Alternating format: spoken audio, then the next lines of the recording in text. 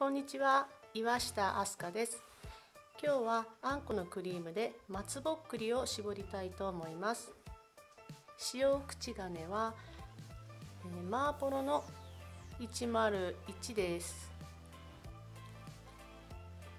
直径1センチの土台を絞っていきます。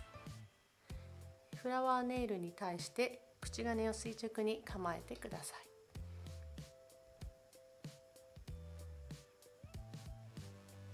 まず1周絞ったら、えもう1周絞ります。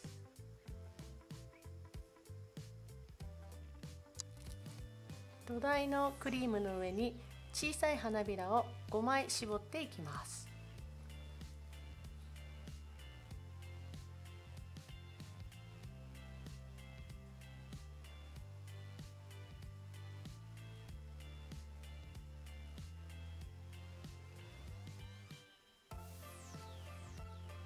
2周目は花びらと花びらの間に絞っていきます。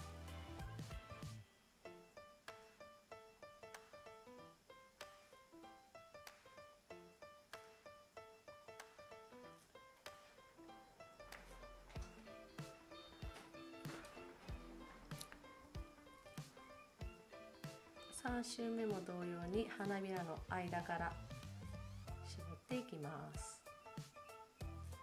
この繰り返しです。